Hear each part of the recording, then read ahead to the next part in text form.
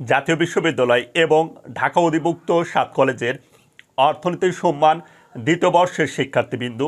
তুমি যদি আজকের ক্লাসের অঙ্কটি খুব সহজে শিখতে চাও বা সমাধান করতে চাও, অবশ্যই তোমাকে পূর্বের ক্লাসগুলো ধারাবাহিকভাবে দেখতে হবে। আর পূর্বের ক্লাসগুলো ধারাবাহিকভাবে দেখতে চাইলে এখনই এই চ্যানেলের লোগোতে ক্লিক করে প্লে লিস্টে গিয়ে দেখো গাণিতিক অর্থনীতি দ্বিতীয় বর্ষ নামে একটি ফোল্ডার রয়েছে। সেই ফোল্ডারে ক্লিক করে ক্লাসগুলো তুমি সিরিয়াল মোতাবেক দেখতে পারবে। শিক্ষার্থীবিন্দু, আজকের ক্লাসে আমরা সমাকলনের নতুন নিয়মের অঙ্ক শিখব আর তা হলো সূচকের নিয়ম। তবে সূচকের নিয়ম যখন শিখব, তখন অবশ্যই এর পাশাপাশি সাধারণ নিয়ম ও পাওয়ার পাওয়ারের নিয়ম তোমাকে জানতে হবে বা শিখতে হবে। গত ক্লাসগুলোতে কিন্তু আমি অলরেডি সমাকলনের সাধারণ নিয়ম, পাওয়ারের নিয়ম ও ইনভার্স এবং রুটের নিয়ম শিখিয়েছি। সূচকের অঙ্কগুলো যদি সমাধান করতে চাও, অবশ্যই তোমাকে পূর্বের নিয়মগুলো ধারাবাহিকভাবে জানতে হবে। আশা করি পূর্বের ক্লাসের অঙ্কগুলো তোমরা সিরিয়াল মোতাবেক শিখেছ এবং প্রচুর পরিমাণ এক্সারসাইজ করেছ। ওকে প্রথমে সূচকের অঙ্ক সম্পর্কে একটা ধারণা নেব। সূচকের অঙ্ক সাধারণত দুটি ভাবে আসে। একটি হলো ই ভিত্তিক সূচক আর একটি হলো ই ব্যতীত। এখন ই ভিত্তিক কেমন? যার সঙ্গে ই আসবে, সেটি হলো ই ভিত্তিক সূচক, এটা হলো সূচক। আর ই ব্যতীত, যেমন এর উপরে এক্স বা ছোট হাতের এ বি সি ডি এর উপরে এরকম এক্স অথবা তোমার যাবতীয় সংখ্যার উপর এক্স বা আরও কিছু আছে, এগুলো হলো ই ব্যতীত সূচক।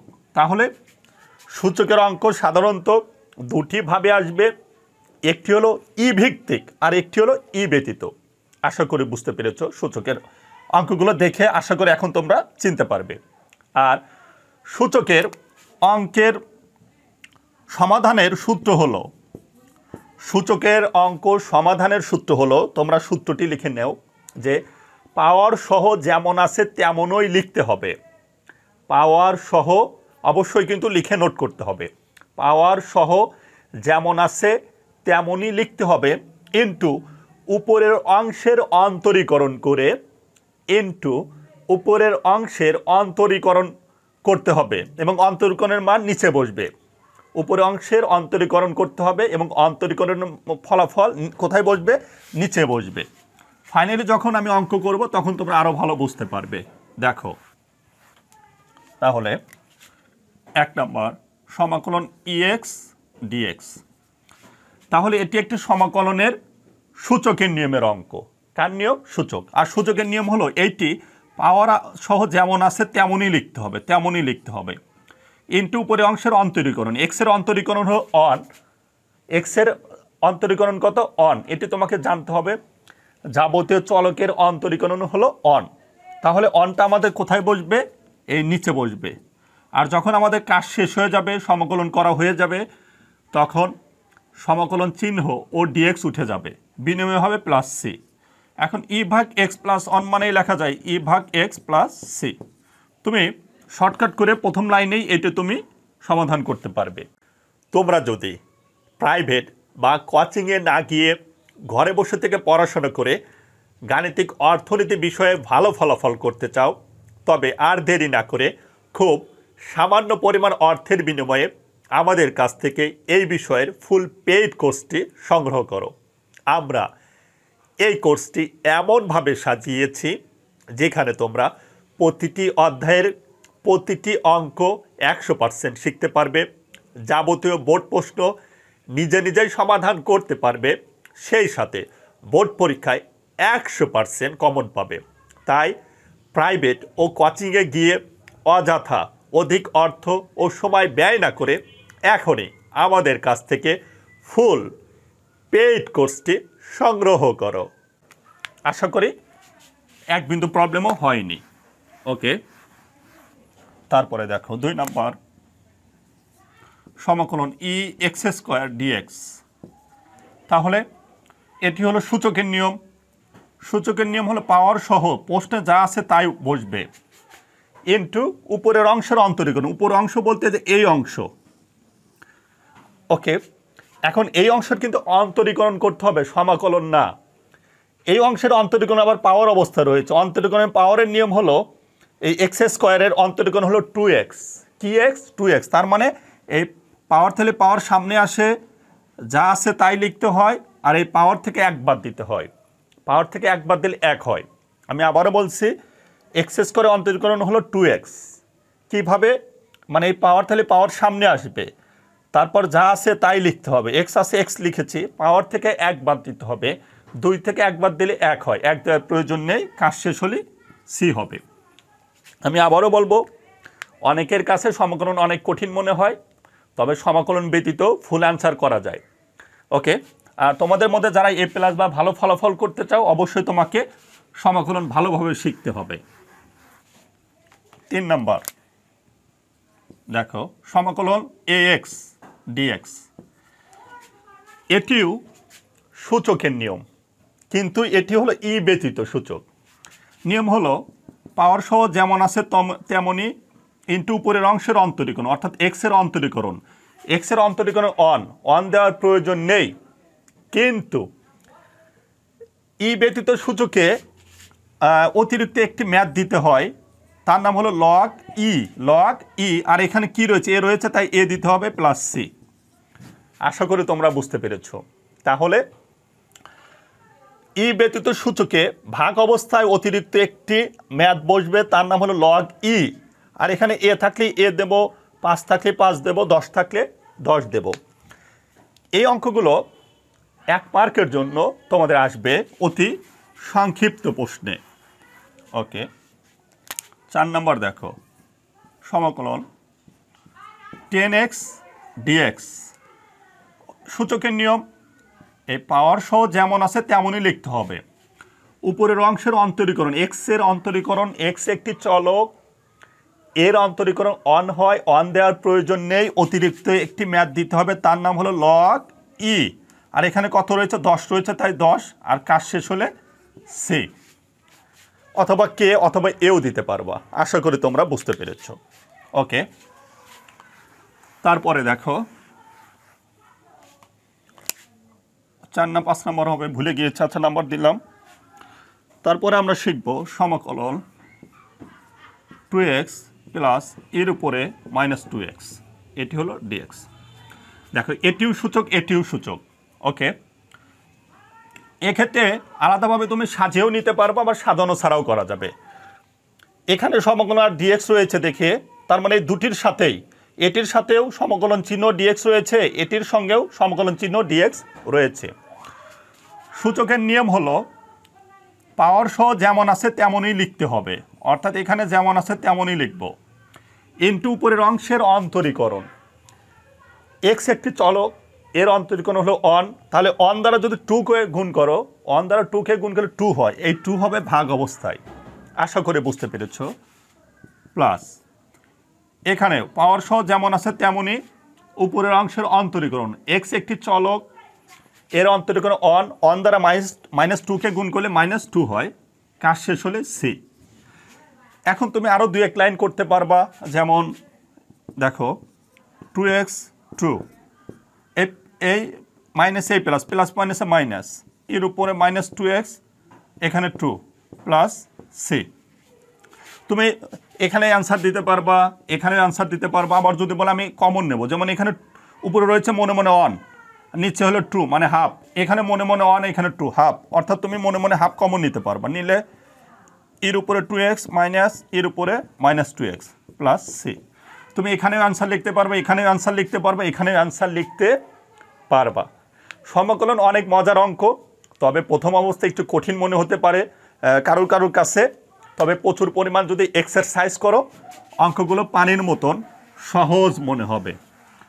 ওকে, তারপরেরটি দেখো।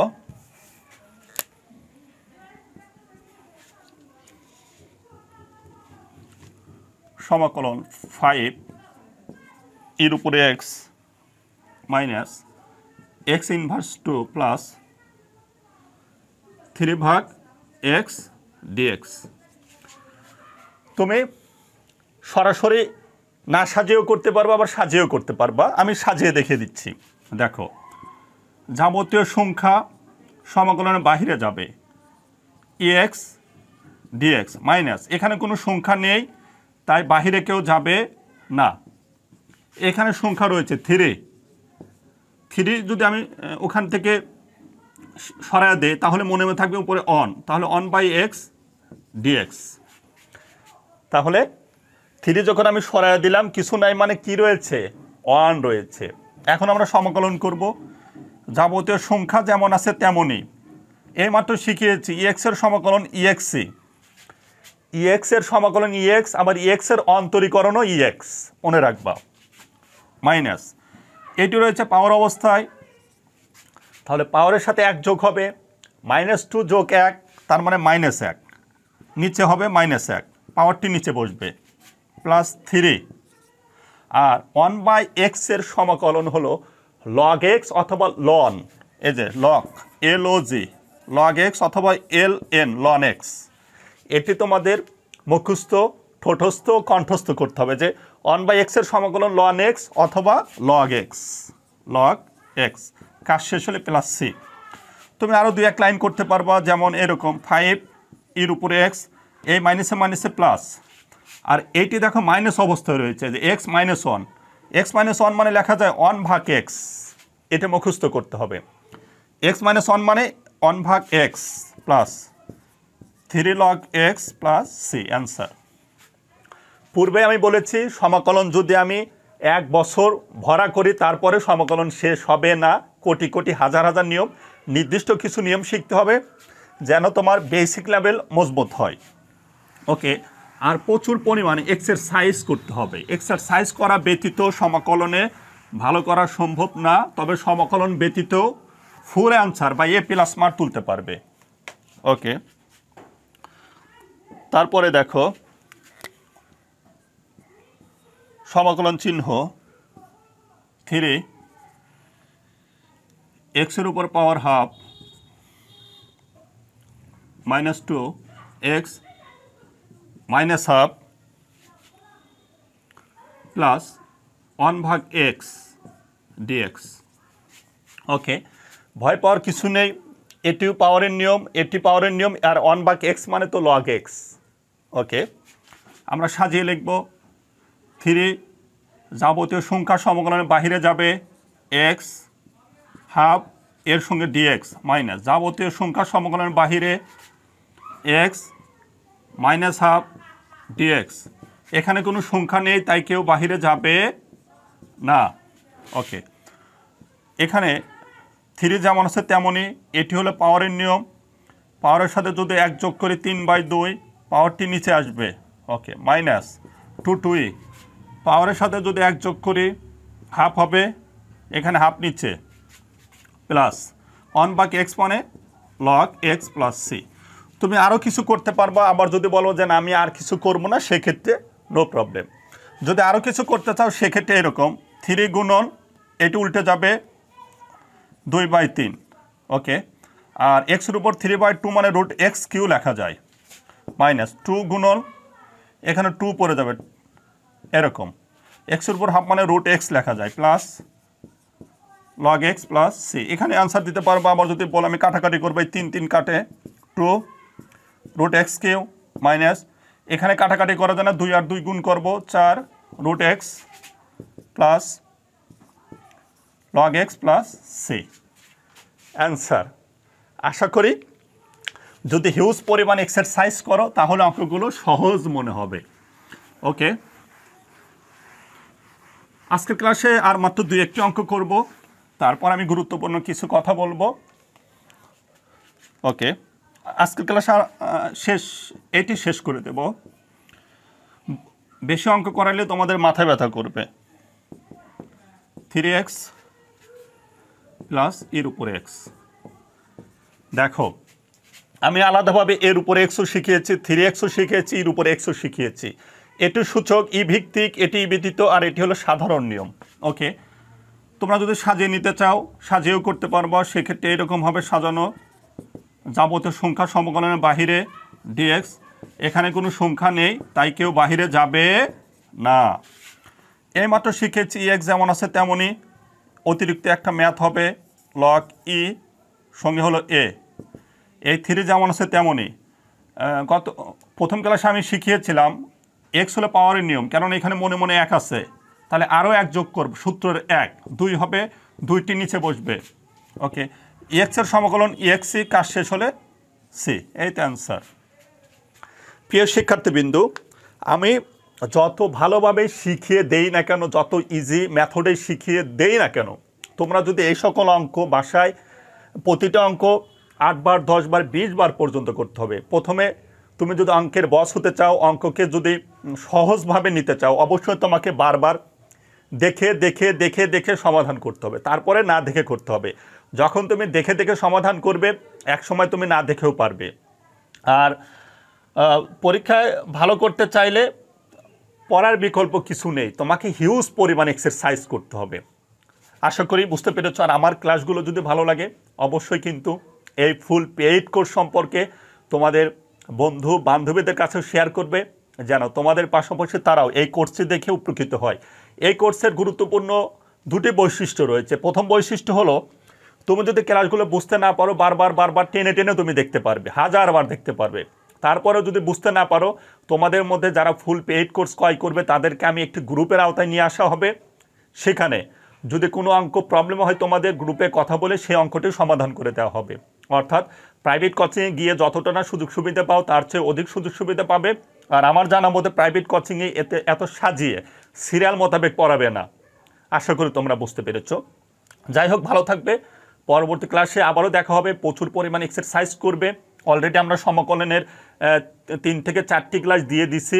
যদি এই তিন থেকে চারটি ক্লাসের অঙ্ক হিউজ পরিমাণ এক্সারসাইজ না করো, পরবর্তী ক্লাসগুলোতে যে সমকলন আমি শিখিয়ে দেবো, সেই সমকলনের একটি লাইনও তোমরা বুঝতে পারবে না। আল্লাহ হাফেজ।